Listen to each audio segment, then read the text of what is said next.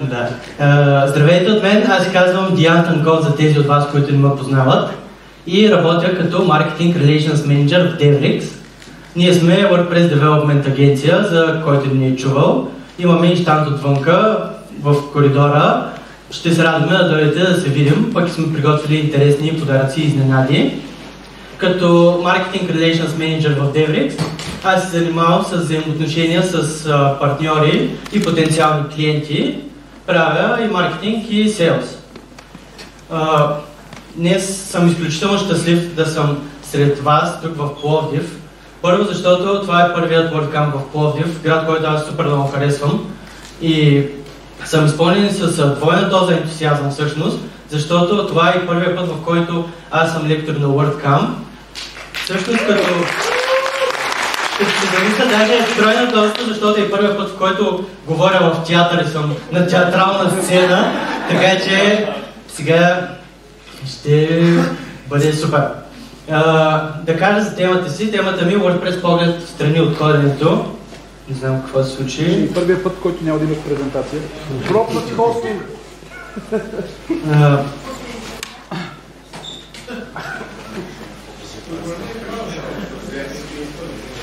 Добре, явно нещо прекъсва.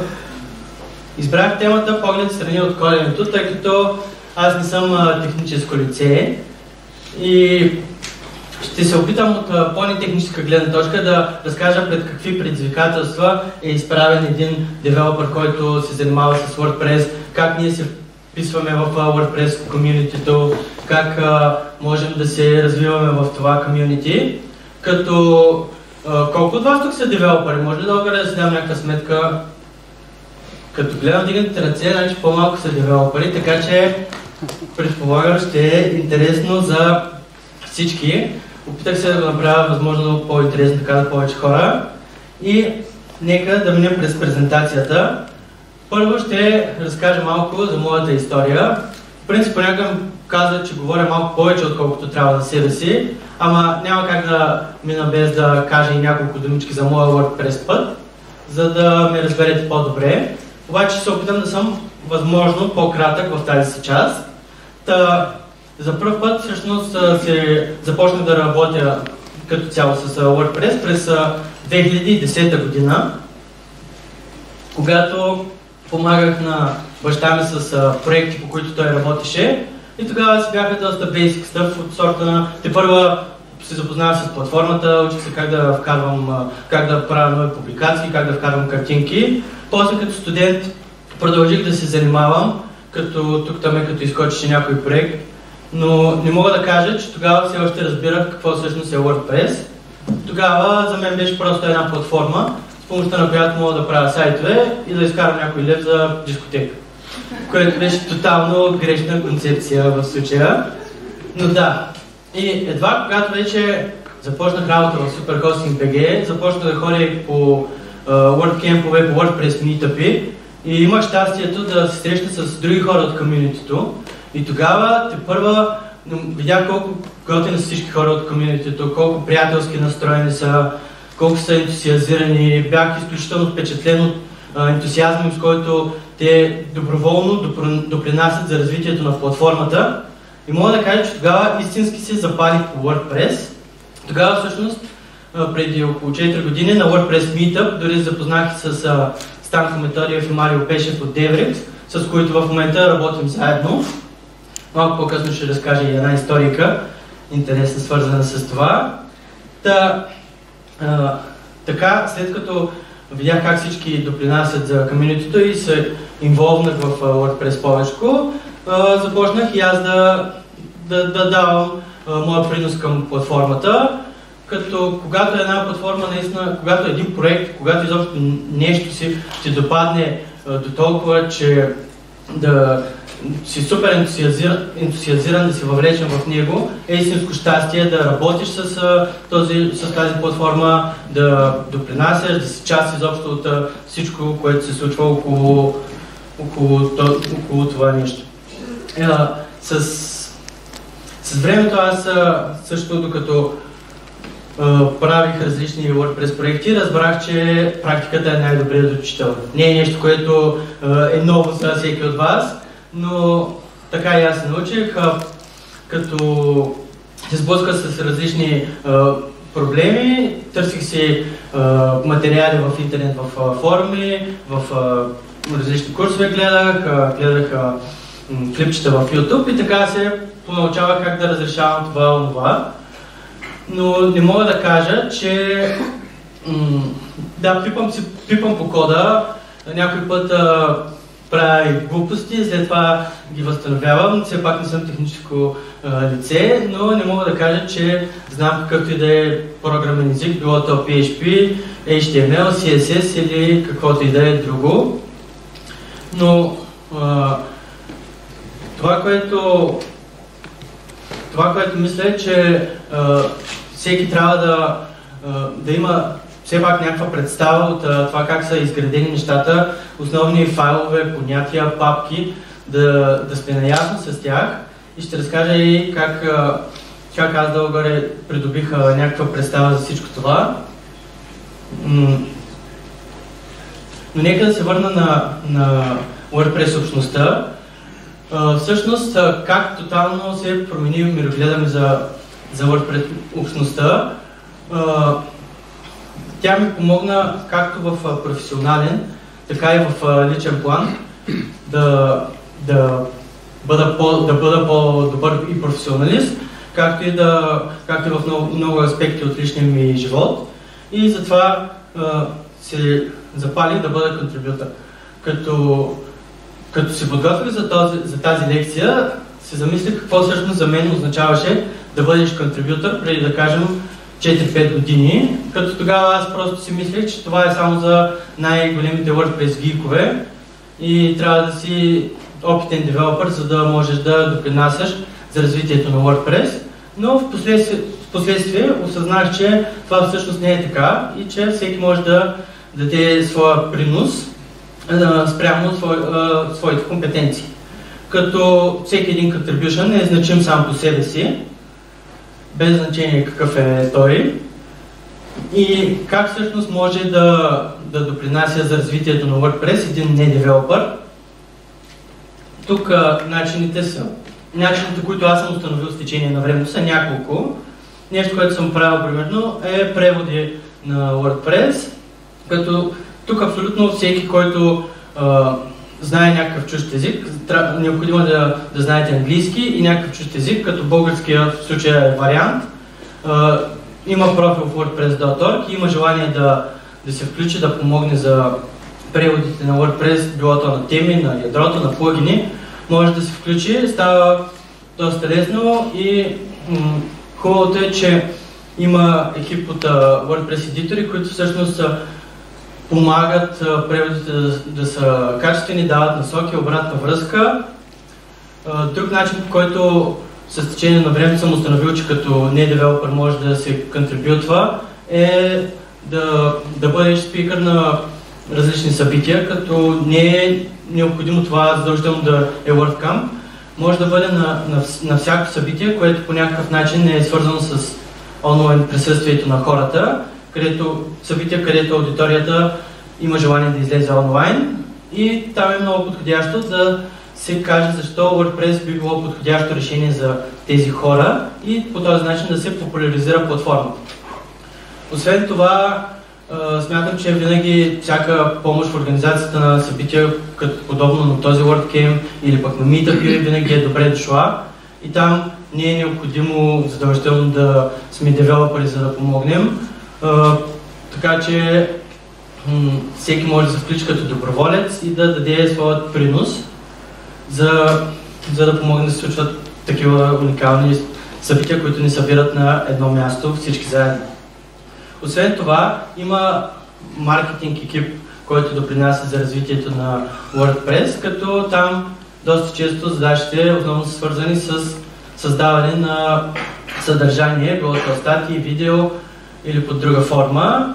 А, Този маркетинг екип обаче не мисля, че е задължително да, да бъдеш маркетинг специалист, да се включиш в този екип.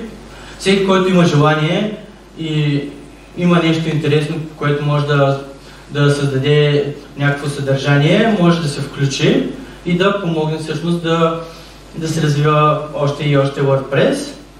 И освен това, един друг вид contribution, който аз съм установил с течение на времето, е всеки от нас, независимо колко голям опит има с WordPress, било то по-малък или по-голям, може да помага на хора, които те първа, те първа навлизат в WordPress, като за тези хора неща от сорта на това да си а, инсталираме тема, да си а, качат нова публикация или пък да си качат картинка в сайта, а, не се ежедневие и преди да, преди да се научат как те да го направят, те доста време се лутат и могат да изгубят часове наред, за да, дори дни, за да направят нещо, което на нас може да ни изглежда изключително просто. Затова някакъв път е такива мал, такава малка помощ, която можем да дадем на тези хора. Съм забелязал, че винаги бива доста оценена от тях, заради времето, което им спестяваме. Дори и ние да за нас това да не е нещо, кой знае колко голямо, което сме направили. Така че съветвам всеки да, който има желание да, да, да се инволвни в комьюнитито. Щом всички тук сте на WordCamp, е, предполагам, че всички имате такова желание да помагате и наистина WordPress е супер готин проект, с който всички работим. Нека да го популяризираме и да става все по-добър за всеки един от нас. Утре е Contributors Day в, тук в Пловдив. А, колко от вас са ходили на, на Contributors Day? Добре, няма много ръце. Значи те първа всички, които не са ходили, имат възможността да дойдат на това събитие и да видят всъщност колко готино наистина е да, да сме, когато всички сме заедно на едно място и, и заедно контрибютваме, за да направим WordPress по-добър за абсолютно всички нас а освен за нас и за една трета от всички сайтове изобщо по целия свят. Това е нещо уникално. Обстановката е много готина, аз съм ходил няколко пъти на Contributors Day и винаги съм бил супер зареден след подобно събитие, така че всеки, който има желание, нека да дойде и да се убеди сам за себе си дали това ще му допадне. А който е ходил, няма какво да му обяснявам. Всичко това с а, допринасянето за развитието, разбира се, идва и със своите ползи, като някои от ползите, които аз съм установил за себе си, са, че когато се въвлечем в а, WordPress общността, ние се намираме на първо място много много приятели сред това комьюнити, а както казах, всички хора тук са изключително готини и доста ценни контакти можете да си можем да се направим, като посещаваме подобни събития и изобщо сме въвлечени в комьюнитито. Освен това, като допринасяме за развитието на WordPress, това ни помага да, да градим повече доверие от клиентите, с които работим, тъй като те виждат, че ние сме въвлечени в развитието на WordPress и му помагаме той да стане по-добър. И това, ние ми това наистина се случва така. Хората оценяват това, че някой е WordPress контрибютор и че помага за развитието на WordPress. Също така, да сме WordPress контрибютори ни помага да помага ни да си да ставам да си помага, да си помагаме на нас да сме по-добри експерти, да бъдем разпознати като по-добри експерти. И освен това,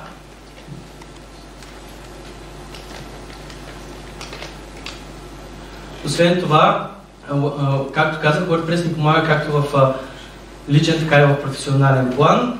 Ще разкажа една история, как, например, на мен това ми помогна в личен план. Цялата ми, цялата ми ангажираност към комьюнитито.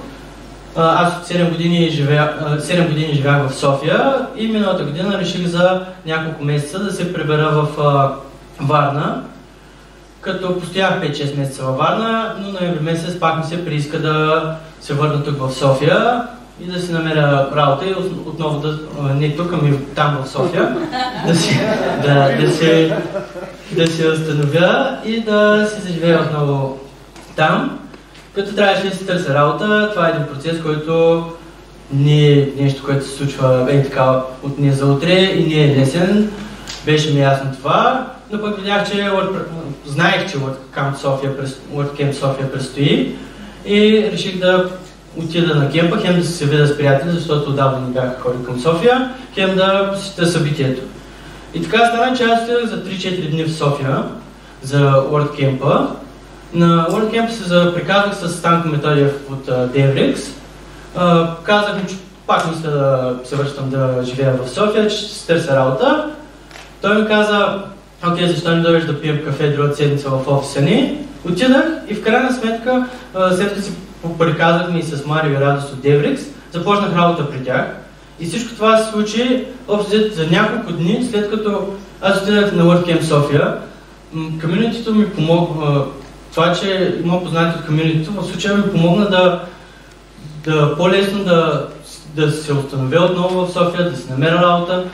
И затова определено мога да кажа, че всичко това ми помага и в личен план. Да, това е помощ и в професионален, защото сега съм с страхотен екип, който всеки ден ми помага да се развивам, но беше доста готино и в личен план за мен.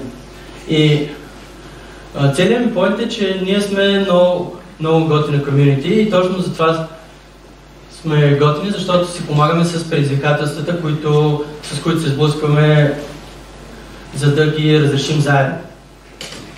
Като какво какви предизвикателства всъщност среща един недевелопър.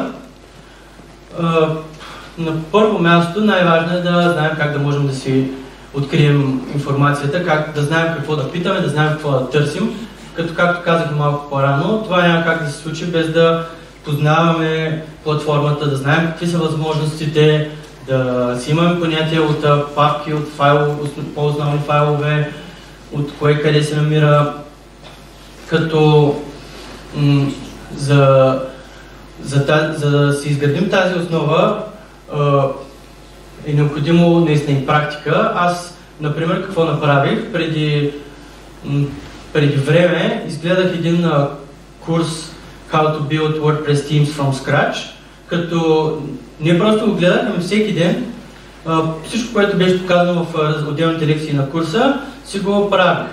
Като първо беше просто view and paste. Каквото гледах, това го писах. След това почнах да наизостявам разни работи и с течение на времето взех да фащам и логиката. И в крайна сметка не се научих да пиша теми или пък да стана програмист, но това изключително много ми помогна да опозная структурата на, на WordPress и да, да мога да се ориентирам в нея и да знам после какво да търся или ако искам помощ от, професионал, от някой, който разбира повече от мен, да знам какво да го попитам. Точно това ми помогна да знам как да си намирам по-лесно, как да задавам по-лесно въпросите, на които търся отговор. И а, доста хора, по мои впечатления, използват WordPress, защото е лесно, да, лесно могат да си направят сайт, и след това той подлежи на различни промени, кастомизации. И да, наистина факт е, че с помощта на WordPress можем да си направим сайт за в рамките на няколко часа. Ако, ако е някой много добър девелопър, може дори и за минути да направим по-обикновен сайт. Като да, в рамките на няколко часа можем да направим по-обикновен сайт, който примерно да бъде или личен блог, който след това да пълним с а, статии или пък сайт визитна картичка на някой, някой по-малък бизнес.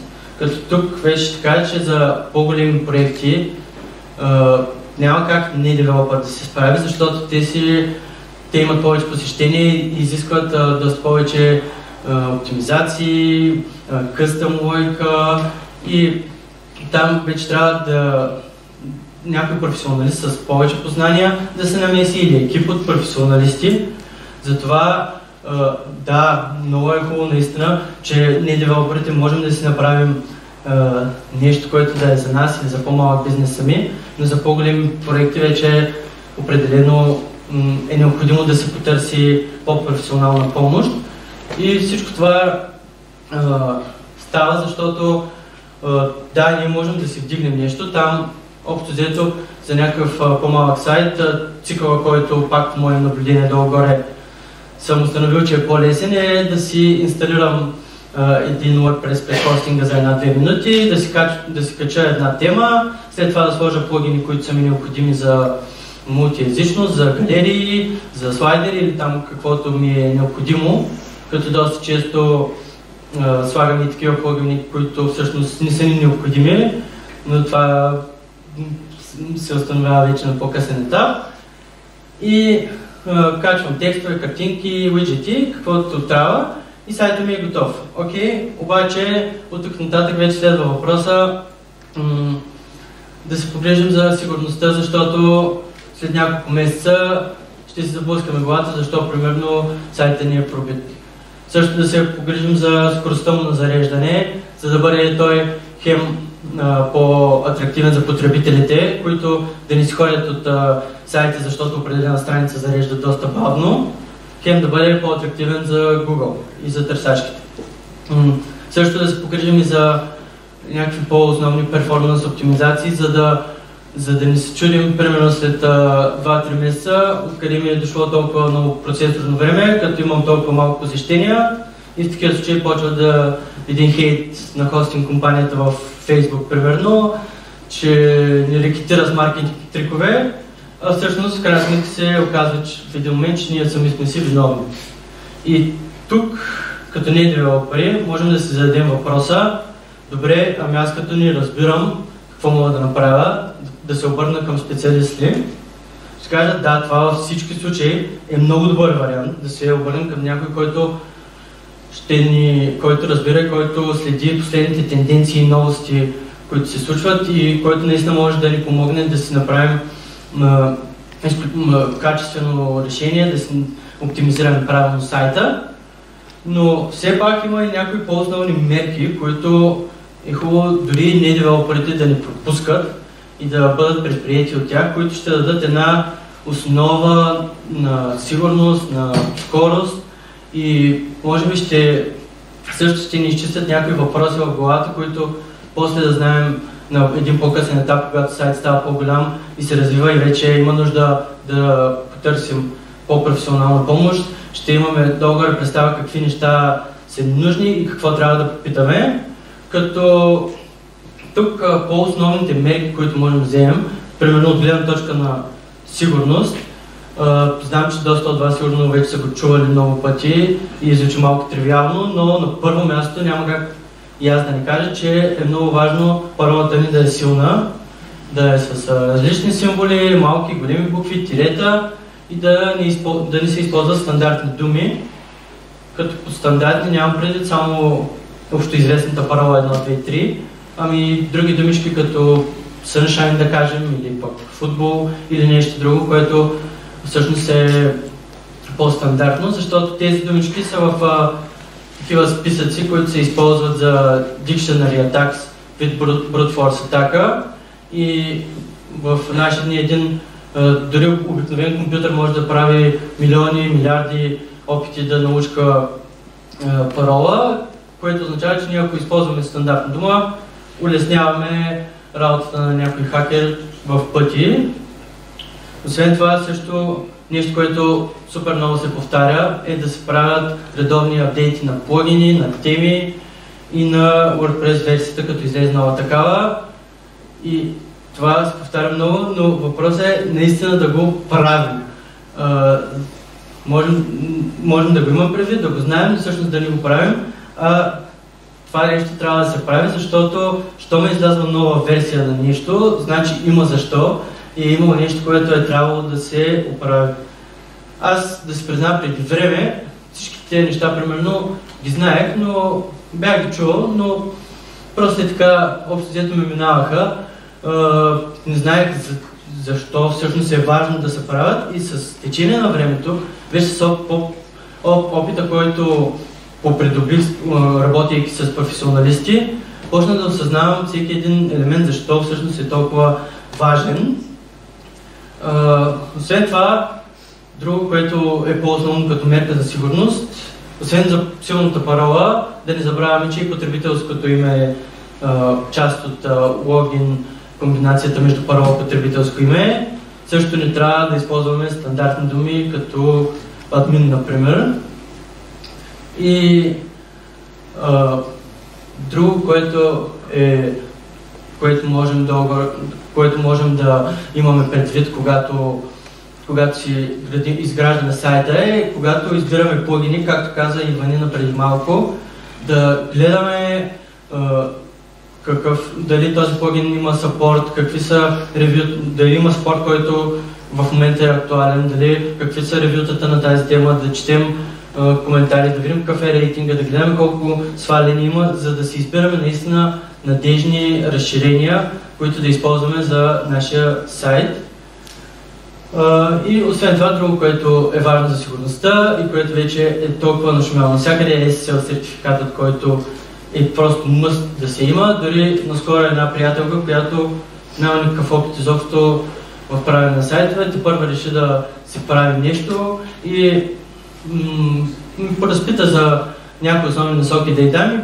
Вторият въпрос буквално беше Първия беше какво, да, какво решение нали, да използвам, за да се направя сайт по-лесно. Аз си казах, давай с WordPress, ще ти помагам. И втория въпрос беше, окей, чувал съм там за сигурна връзка, може да ми разкажеш повече. Така че това вече е супер нашумяло дори след, сред обикновени юзери, които те първо навлизат. А, освен за сигурност, а, някои по-основни оптимизации, които съм видял, че могат да бъдат направени с гледна точка на скорост на зареждане и перформанс са а, първо, като още в началото, като си избираме тема, да бъдем по-внимателни и да наистина да изберем подходяща тема, която да не е някаква много тежка, да не е тежка премиум тема. Доста теми, за да се продават по-лесно, се пишат така, че да са подходящи за, за много цели. И примерно една тема да може да става хем за личния блог, хем за идеята за онлайн списание, която съм имал, хем за хотела на приятели ми, пък и да стане за мисарския затъгъла.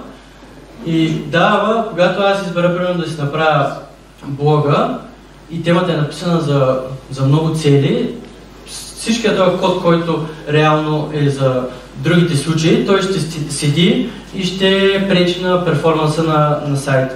Затова трябва да бъдем внимателни в избора си тук и наистина да, да четем повече за темите и да избираме такива, които всъщност отговарят на това, което планираме да правим. Освен това, друго, което можем да направим като по-основна оптимизация е да Едно е да, когато вече си градим сайта и започнем да качваме различни файлове, картинки, да ги оптимизираме, така че да не са в някакъв много голям размер. Например, за картинки можем да си целим под 100 кБ, да кажем до 100-150 кБ, да не качваме тежки неща, които после могат да, да попречат по някакъв начин на скоростта и на перформанса на сайта ни. освен това, като, като качваме плагини, има две страни. Едното е, нали, че трябва, е хубаво да гледаме плагините да са по-доверени, като гледаме ревюта, саппорт, рейтинг и така нататък. Друго е, че не е много хубаво да качваме изключително много плагини. То е малко подобно като с приложенията на телефона ни, или имайки 100 приложения на телефона ни и 100 плагина в сайта ни, със сигурност ще се отрази на перформанса, като просто е хубаво да си избираме плагините, които наистина ще ползваме. И когато някои сме видяли, че не ни върши толкова работа или не го ползваме го един път на две години и не ни трябва да го махаме, не да го оставаме, защото един ден може пак да ни потрябва. Винаги може много лесно за няколко минутки да си го качим на ново. Да. Това са някои предизвикателства, които не девелоперите срещат и как може, също ще поговорим малко набързо и за WordPress развитието, което можем, което можем да си осигурим ние. Едно е, един от начините е да ходим на, на подобни събития като WordCamp и Meetup да се срещаме с хора, които са от комьюнитито и да си говорим с абсолютно всеки, с абсолютно всеки, с който имаме възможността, защото няма как да си говорим с 200 човека на ден. И да, да ги разпитваме с какво се занимават. И със сигурност дори само да слушаме и някои разговори, ще научаваме по нещо. Работа с хората от общността винаги е много полезна, така че дори да можем да си намерим работа в екип, който е примерно от хора, които са въвлечени в WordPress, може да ходим в coworking и да работим с хора, които пак по някакъв начин било то фрилансъри са въвлечени в WordPress. Винаги нетворкинга, който можем да справим с тях, ще ни е от полза. Разбира се, да следим какво се случва в WordPress средите постоянно. WordPress.org има Slack, който има различни канали. Аз лично там се следя в анонсмент, примерно новини за новости около WordPress. Освен това, можем да си, да си търсим всякакви материали, да гледаме курсове в WordPress, който всеки зависимост от това, което е, му трябва спрямо случая и да се усъвършенстваме непрекъснато, да си тестваме всички, да си тестваме различни новости или на тестов сайт, или на нашия сайт, но разбира се, като първо сме направили бекъп, за да не, за да не все пак да можем да възстановим работеща версия на сайта, ако, ако все пак нещо плескаме. И професионалната практика винаги, а, пак казвам, винаги е нещо, което ни вкарва в дълбоки води и най, най-дълготрайно ни, ни учи, като а, наистина освен, че може да ни вкара дълбоки води, това нещо може и да ни отдави, но тук хората от комьюнитито са супер готини и винаги помагат. Било то в WordPress.org support форума, в Facebook групи, като се срещнем на WordCamp и питаме въпроси. Така че спасителни пояси има много и винаги може да се обръщаме за съдействие към хората, които са от WordPress общността. И в заключение само искам да кажа, че да, супер готино е, че като не девелопери можем да си правим е, някакви неща, но тук вече всеки си преценя колко време може да отдели, за да, за да се учи и да направи проекта си сам или да се обърне към професионалист. Със сигурност, когато сме не девелопери и правим нещо сами, няма да направим перфектният проект. Затова на даден етап винаги ще ни се наложи да потърсим професионална помощ или, освен ако не прекараме няколко години в учене и се усъвършенстваме сами. Така че можем да го имаме това предвид и благодаря за вниманието. въпроси?